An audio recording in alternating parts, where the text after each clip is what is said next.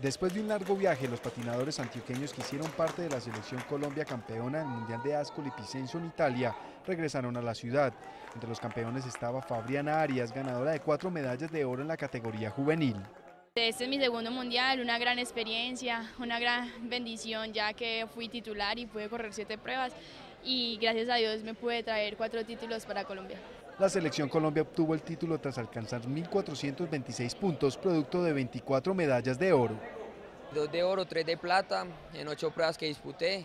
Eh, ahora descansar, eh, estar en familia. Eh, tengo un campeonato más o menos en 15 días. Ahora la selección Colombia de patinaje se prepara para los Juegos Bolivarianos y los World Games en 2013, donde espera ratificarse como potencia mundial en este deporte.